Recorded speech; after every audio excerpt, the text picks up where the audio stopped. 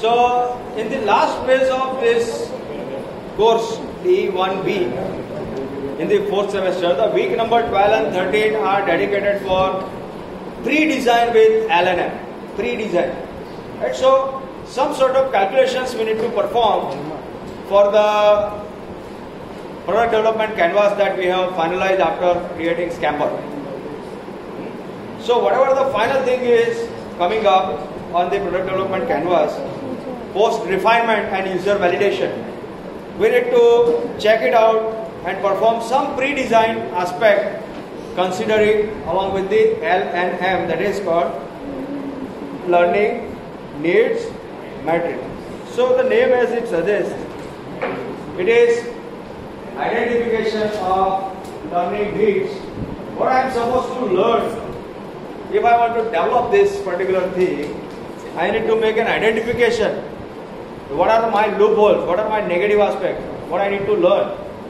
Something going visionary.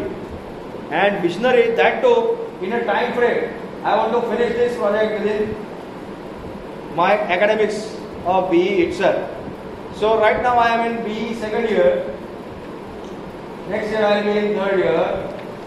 Then after I will be in final year. So I need to make distribution of things that I need to be aware of.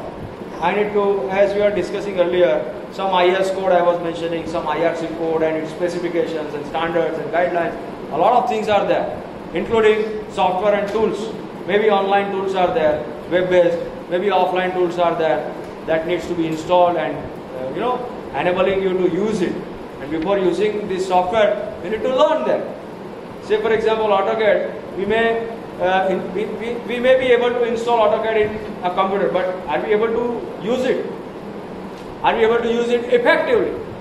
If your answer is no, then we need to make a, a statement of identification that yes, I need to learn this particular software. Now, second question is when and how. Okay, so okay, I am supposed to make drawings uh, maybe after uh, about one year for the thing that I am developing. So I must start learning this uh, specific software maybe after six months, not not instantly from this very day onward. Right? So maybe after six months I will need to start learning this software. In a duration of six months, I will be able to complete the learning part, and then by the end of one year from now, I will be able to start producing drawings that are necessary for developing my this product.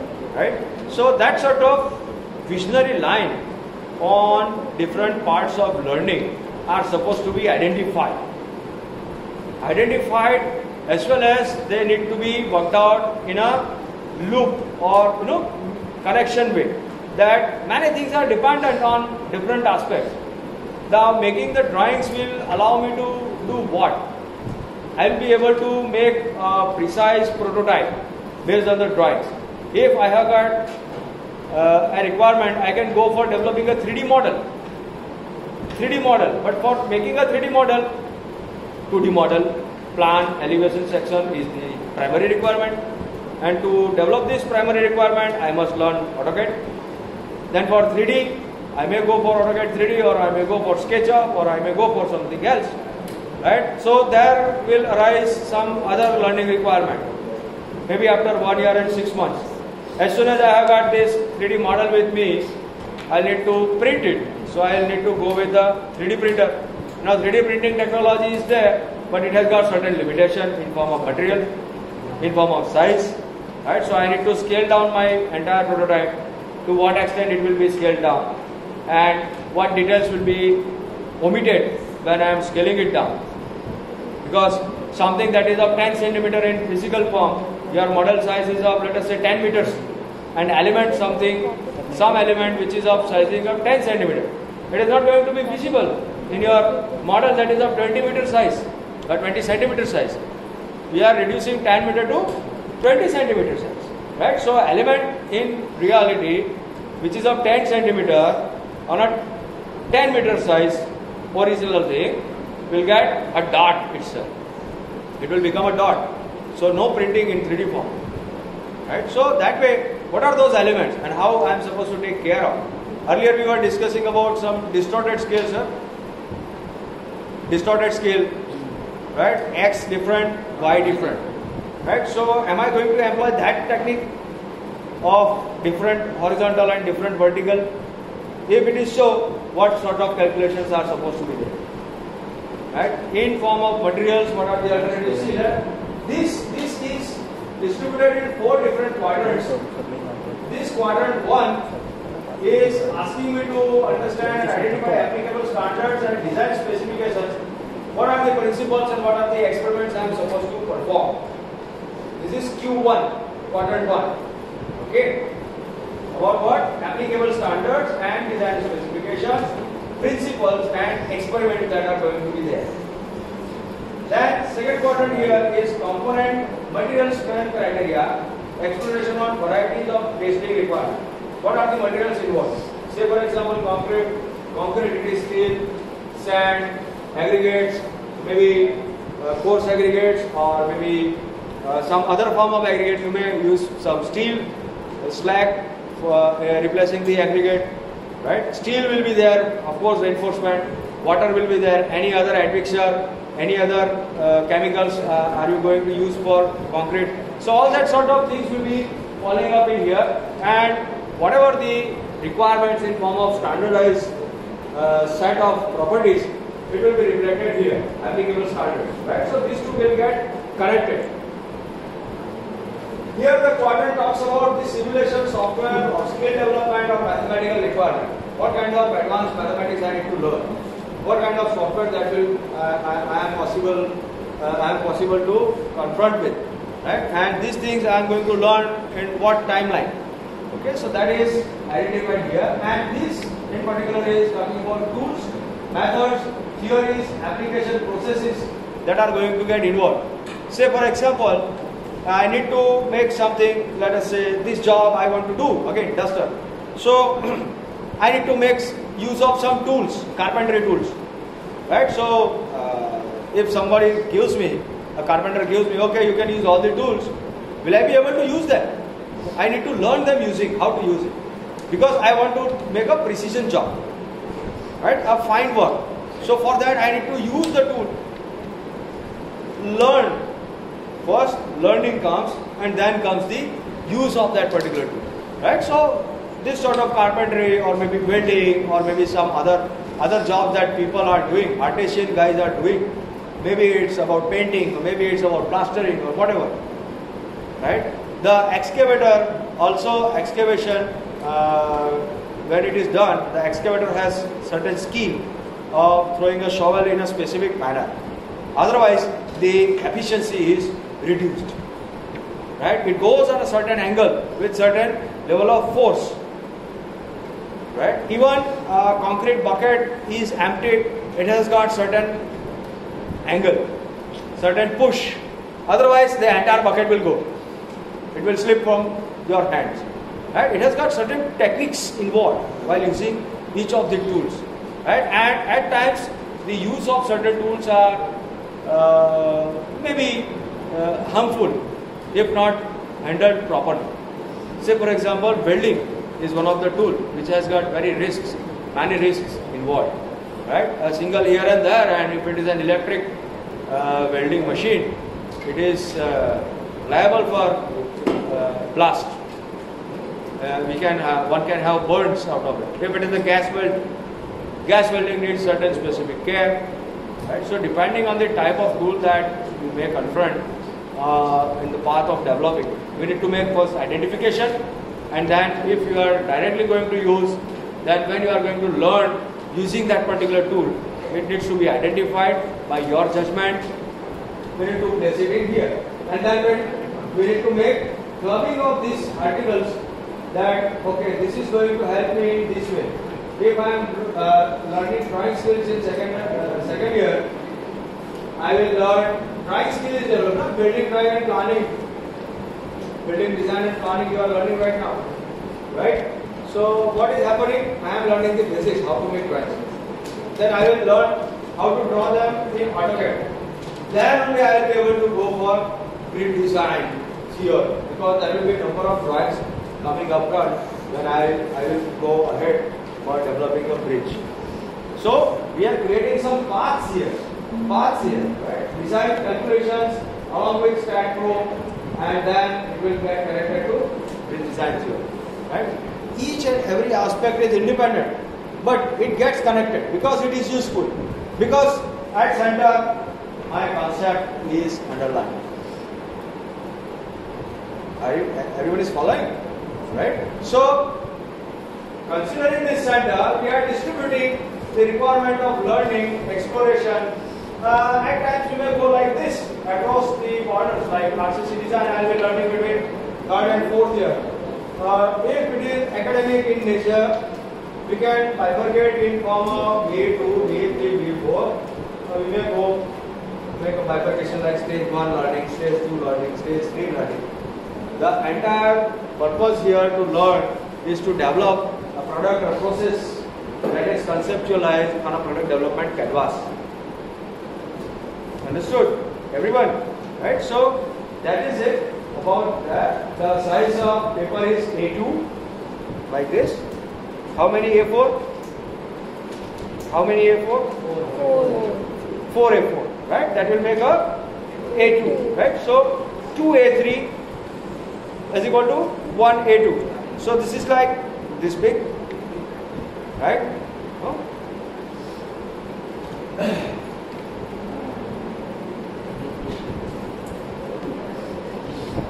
So it will help you identifying the requirements within the syllabus contents as well as contents that are beyond your current syllabus.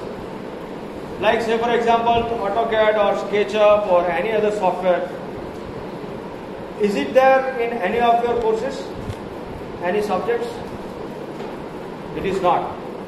But if the need is identified, you are supposed to learn it. The important thing is when you are going to learn it. And with what purpose you are supposed to learn. કોઈ કે કીધું તો મેં કરી લીધું it is not going to help correct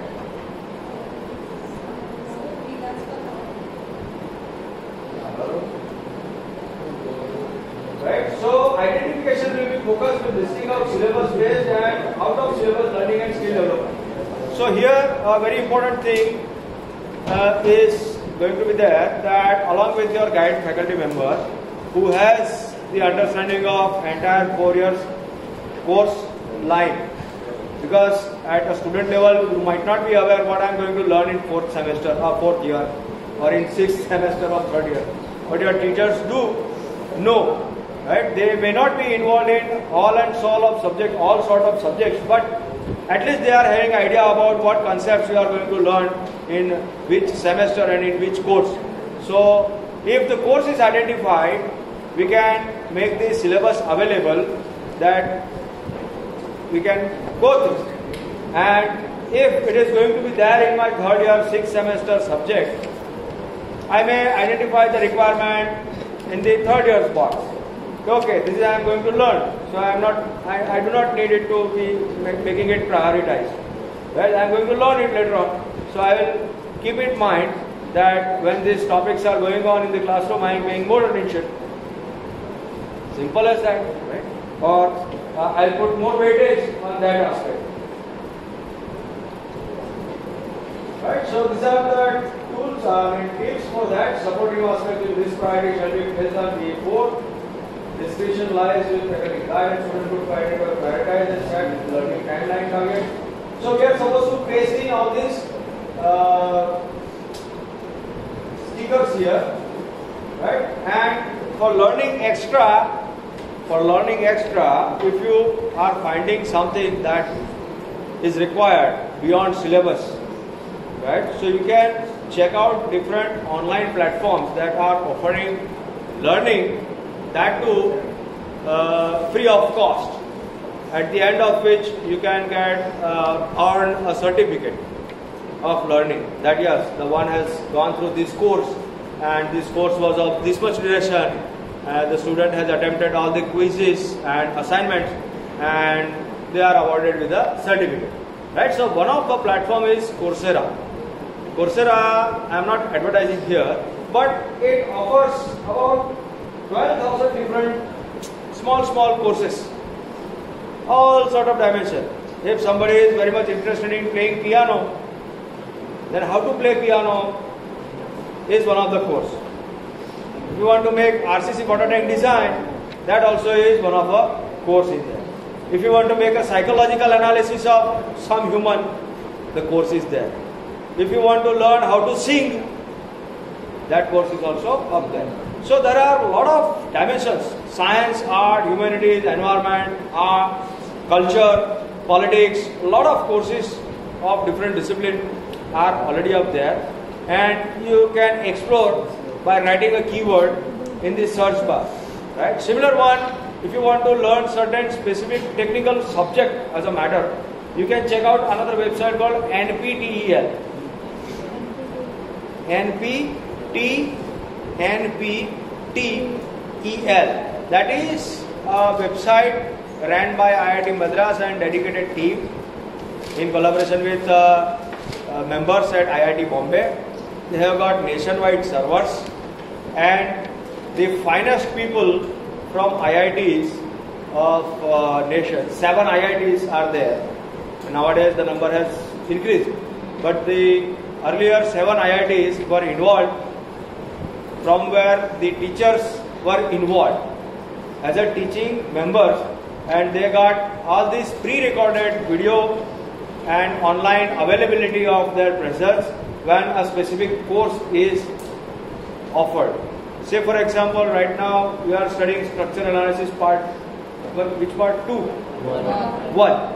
Right? And if you are finding it to be an opportunity that yes, I want to learn more about this essay and I want to learn it from a faculty member who is teaching at IIT. It is not going to be possible physically by sitting in this very classroom at our institute. Right? Even if we make a request, uh, the person may be here for a day or two or three, not more than that, under which the entire syllabus is not never going to get covered from. But you can simultaneously enroll in any of these courses which are offered at a period of every four months. Right? So some of the courses are of four weeks duration, some are of six weeks duration, some are of eight weeks duration. And uh, three times a year, these courses are open for enrollment. No fees are there for learning, but yes, if you want to appear for an examination, 1000 rupee charge, they will be applying for examination registration because there will be arrangement requirement for the exam center and supervisor and paper stationery work and you know, all that sort of uh, things will be there. And they also have this scheme that if you score more than 80%, they will uh, make you exempted from the registration charges, examination. They will, they will repay, pay you back this money. Right? So they keep on floating that sort of schemes and uh, in the uh, announcements are there. So there are a lot of other uh, platforms for online learning, one of which is called EDX, edX, EDX, right? You can explore courses up there as well. Then uh, another uh, MOOCs are also offered by the World Bank, right? The World Bank Institute they call it, WBI. They also offer, but these these uh, WBI will not offer the basic theoretical courses. Right? You have got uh, this edX, this Coursera sort of programs. Even even if you are not aware how to use Microsoft Word or Excel or all these online tools, offline tools, there are small small courses of let us say one week program, two week program. A few of the video you are supposed to see at the end of a module, you are supposed to answer few of the questions in form of quiz. Yes, no kind of quiz or select a particular option from MCQ. You get a score at the end. And then you might be allowed to submit some specific assignment if the course is uh, posing certain requirement uh, to show off your learning. And these assignments are checked wonderfully. You know, I am submitting one assignment and she is also enrolled. So she might be checking my assignment and I may be checking your assignment or different, you know. That is called peer review. So all the participants who are enrolled in a specific course, they will check each other's assignment Yes, I developed my assignment by myself, I am knowing that what needs to be done. Okay, so somebody has done it well or not, then I am making an assessment of. That is called peer review process, right? And there may be an arrangement of uh, faculty member uh, review process, which may be taking a lot little longer time than this peer review process because peer review is one one week assessment. Okay, you, you are making a submission in the first week, you are checking the assignments in the second week. Two weeks, task over. But you are making assignments in the first week and teacher is checking it, this duration will be a bit longer. Three weeks, four weeks like that. Because a single person, maybe a group of person will take more time to go through all the assignments and uh, providing ranking and numbers and evaluation, right? so that sort of different mechanisms are available on the uh, online portals that MOOC is abbreviated form of mass online open courses. You can download the videos on your mobile application. You can download the PDF files uploaded as a reference material. You can save the entire course on your mobile phone. All these sort of applications are available in, in your mobile phone. Nowadays Android and Apple based uh, app stores are there. So earlier these were all web-based programs. They have make it uh, possible to get it done through your mobile phone. So if you are enrolled in a course, you have some 10 minutes of time available with you. You can anytime patch up, match up with your course uh, instead of sitting idle doing nothing. Right? So efficient use of time it allows for, and uh, all what you need is to have an internet connectivity. If not, download the video. You can watch it, view it later on anytime as the time allows you to do so. Right? So, uh, quite interesting way of learning uh, on the go, and uh, it can uh, tell you more of the insightful understanding from the people who are well learned and recognized across the globe. Huh? So take benefit of it. No charges on NPTEL as well as Coursera and edX.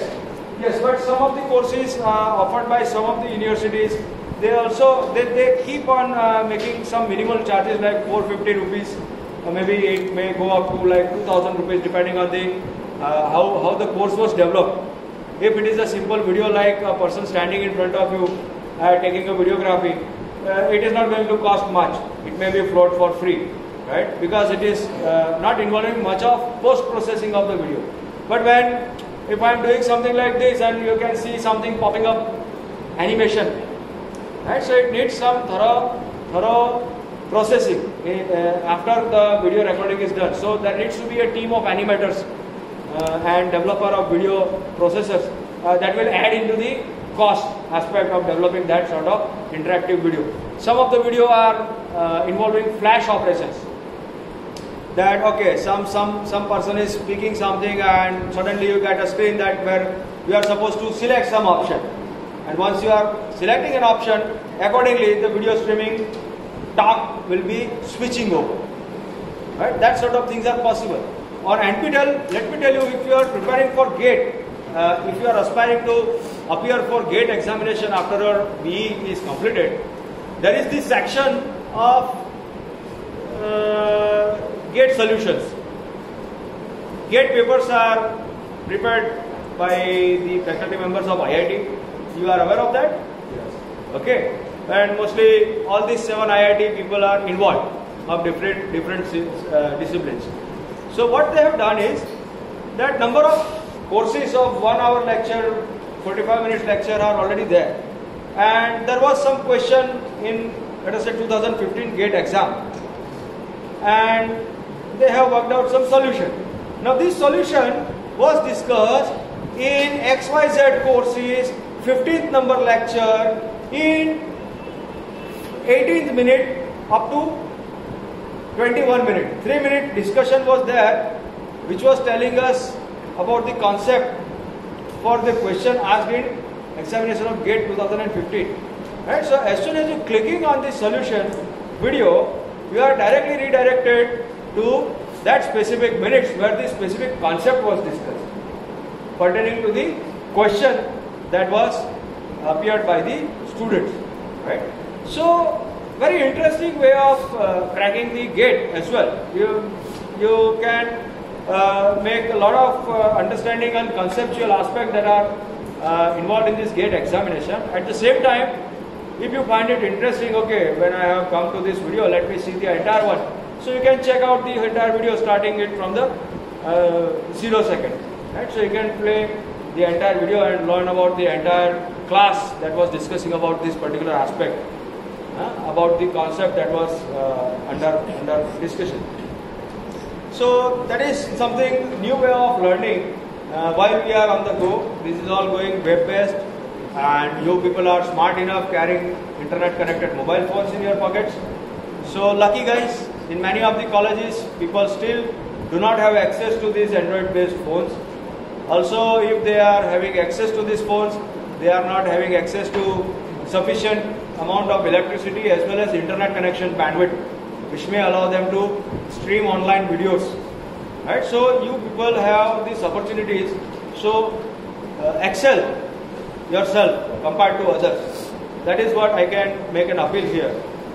Uh, these things are enabling. Okay